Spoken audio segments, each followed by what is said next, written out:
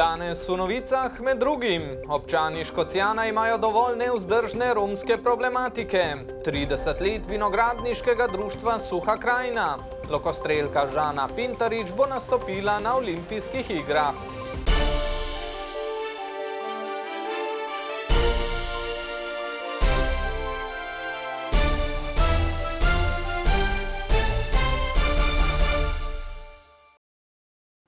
Lep pozdrav! Vaščani Grmovelj, Huden, Dobruške in Stare vasi, pridružili pa so se jim tudi domačini iz Tomažje vasi in Dobrave pri Škocijanu, so se zaradi neuzdržne romske problematike sinoči sestali na izrednem sestanku. Soglasno podprto zahtevo, da se nemudoma zagotovi varnost v njihovih vaseh in celotni občini, bodo ob obisku prihodnji teden seznanili tudi notranjega ministra. Izvorni greh je, da pred zakonom nismo vsi enaki in gre za nacionalni in ne lokalni problem. To in še veliko več je bilo slišati na sestanku, ki se ga je vdeležilo preko 50 vaščanov. Nismo se sestali proti Romom, v bistvu ne, ampak proti nedelovanju države oziroma neposlušnosti ministrstev. Ki bi po mnenju prisotnih nujno morala začeti ukrepati. Stanje je tako, da ni 5 do 12, ampak je 5 čez 12. Veliko je teh stvari, kar so se že zgodile, veliko je bilo že napisanega, pač učinka pa nobenega. Povod za sestanek je bil tudi incident pred dnevi, ko so se Romi namerno zaleteli v vozilo domačina iz Huden. Skočila sta dva Roma ven, je vzel puško v roke in z drugo roko mi je po šepi udaril in pokazal puško, češ, da on ima puško. Ni me namero vame, ampak je pa pokazal, da ima orožje in da ima moč. Incident, ko so se Romi nato še enkrat zaleteli v vozilo in ga potiskali nekaj metrov, je domačina in soprogo močno pretresel. Dolgo že živimo z njimi, nismo imeli takih hudih incidentov. To je bil pa prvi res napad z orožjem, ki pa je zelo, zelo hud in ne more ostati neprepoznaven. Ker so razmere v zadnjem obdobju eskalirale, vaščani upajo, da zahteva po takojšnji zagotovitvi varnosti ne bo znova naletela na gluha ušesa. Se ropi dogajajo okoli vse povsod, narod ne more več iti mirno, kmetje, občani ne morejo več iti mirno na svoje nivo, po svoje bale sena, nič se ne da več normalno delati. Tukaj bo treba nekaj narediti. Od notranjega ministra zato pričakujejo jasne zaveze. Cilj je samo eden, tako ko pač, da država začne reševati uh, nastalo zadevo.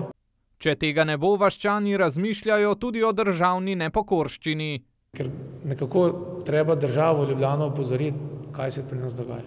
Med možnimi koraki sta bili omenjeni tudi zapora krožišča na državni cesti in zapora avtoceste. To so take ekstremne zadeve, si želimo, da do njih ne bi prišlo. Je pa res, da nekako pa moraš nas opozoriti, če te noben ne sliši. Vaščani od ministra sicer pričakujejo tudi pomoč pri pripravi skupnega sestanka štirih za reševanje problematike ključnih ministrstev, ki naj bi se v Škocijanu odvil po parlamentarnih počitnicah. Nadaljujemo v Dolenjski mestni občini. Na včerajšnji seji Novomeškega občinskega sveta so svetniki s sedemnajstimi glasovi za in petimi proti potrdili nove višje cene programov v javnih vrtcih. Glavna razloga za potražitev sta dvig plač zaposlenih v vrtcih in stroški materijala, storitev ter živil, ki konstantno naraščajo. Na problematiko prepogostega povišanja cen programov v javnih vrtcih že dalj časa opozarjajo v svetniški skupini Solidarnost. V letu in pol je to že tretja, že tretji dvig cen vrtcev. Ti dvigi močno obremenjujejo družine z najmlajšimi otroki v naši občini. Skupna podražitev v tem mandatu, v prvi polovici tega mandata je 24,7 odstotka. Nekateri svetniki pa so izpostavili, da je danes slika v novomeških javnih vrtcih mnogo bolj rožnata, kot je bila še pred desetletjem ali dvema. Stroški vrtca so se za večje družine, ne rečem tiste z enim otrokom, so se bistveno znižali, bistveno, pogoji so se bistveno izboljšali, najemnine pa so šle ekstremno gor. Tako da jaz mislim, da občinski svetniki moramo gledati na proračun kot agregat ukrepov, agregat pozitivnih ukrepov za razvoj družin. Zdi se mi, da je prav, da ima zaposlenih dobre plače, ljudi više plače in da znamo zadržati strokovni kadr. Tako kot se borim, bilo govorim za komunalo, da si pa zaslužijo više plače, je pa prav, da tudi pri vrcih znamo strokovni kadr dobro plačati. Svetniška skupina Solidarnost je ob tej temi pripravila predlog, s katerim naj bi omilili posledice podražitev za občane. Predlagamo, da do naslednje se občinska uprava preuči pač te prakse drugih občin in občinskemu svetu do naslednje se predloži nov predlog oblikovanja cen, ki bo uvedel ta dodaten popust pod draginsko subvencijo in s tem omilil visok dvig cen, ki smo ga sprejeli v prvi polovici mandata tega občinskega sveta. Ta dodatni sklep so z enajstimi glasovi za in dvanajstimi proti svetniki zavrnili. Razmislek je bil, ne, če bi mi videli, da lahko manj dvignemo ali še kaj dodatno damo, bi to predlagali. Ne. Jaz razumem, da je všečno reči, mi smo pa proti, pa bi še manj. Ampak na, na koncu je treba biti tudi pošten in dober gospodar in reči, da naši sistemi bojo naprej delovali. Župan verjame, da je bil ta predlog pripravljen z dobrim namenom, a po njegovem mnenju matematično ne temelji na dejstvih.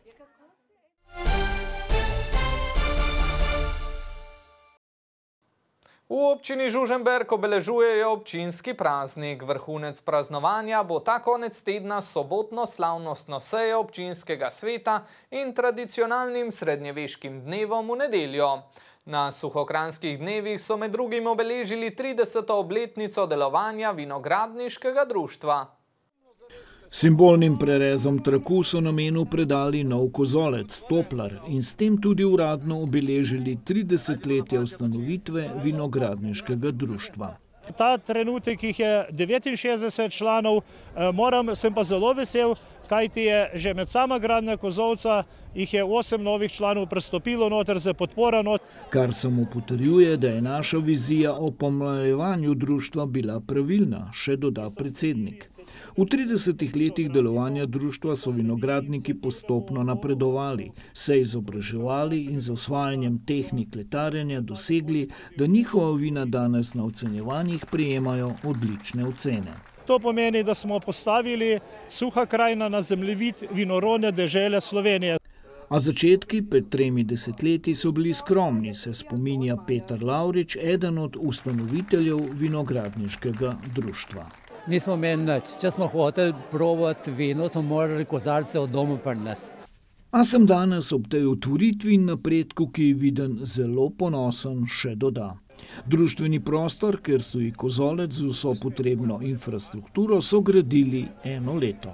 Tale naložba je samo iz finančnega vidika, brez tisoče ur, prostovoljnih ur, ki smo jih opravili, je vredna preko 50 tisoč evrov. A brez številnih donatorjev, tako podjetij kot posameznikov, tega ne bi zmogli, izpostavi koncilja. Med donatorji in botri kozovca je tudi Marta Kelvišar, menedžerka leta 2023. Zelo sem ponosen in počaščen, da imamo taka društva v občini, ki hočejo sodelovati. Saj bo ta prostor na voljo vsem občanom občine Žuženberg, še dodaja župan. V kulturnem programu so nastopili vinogradniški pevci in akademsko izobražena pevka Tjaša Primc, sicer direktorica Zavoda za turizem Žuženberg. Izpod Kozovca pa se selimo v Posavje. Včeraj so v Brežicah predstavili mednarodni dogodek Festival evropskega filma Brežice 2024, ki bo potekal med 28. in 31. augustom letos. V Brežicah bo prvič združil ustvarjalce filma, glasbe in umetnosti ter lokalna društva, javne zavode in turistične ponudnike. Predvajanih bo deset filmov, vključno z otvoritvenim filmom. V sredo se bo zgodil otvoritveni večer za slavnostno govornico Urško Klakočar Zupančič in pa otvoritvenim, otvoritvenim filmom večera, ki bo obenem tudi presenečenje festivala. Koncept izbora filmov je predvajanje vrhunskih evropskih filmov. Ki prinašajo neka pomembna sporočila, ki so pa obenem tudi komunikativni. To so filmi, ki so se predstavili na največjih svetovnih filmskih festivalih. Skratka, imamo en žlahtni izbor filmov iz Kana, Benetk, Locarna in Berlina recimo. Tako da predstavljamo recimo tudi otvoritveni film letošnjega Kanskega festivala Drugo dejanje. Festival pa bodo zaključili v mladinskem centru Brežice. V soboto se bo ob zaključku podelila tudi nagrada občinstva in se uh, nekako festival zaključil v mladinskem centru v Brežicah z koncertom naše na novo ustanovljene glasbene skupine Posavske Funk Parker. Novega festivala se veselijo tudi na občini.